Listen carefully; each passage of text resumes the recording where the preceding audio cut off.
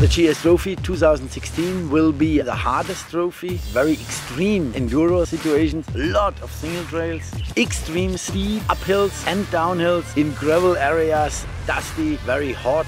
And the guys will fight hard, they will sweat like hell. We have the best GS rider from all around the world here and they will have a ride of the life here.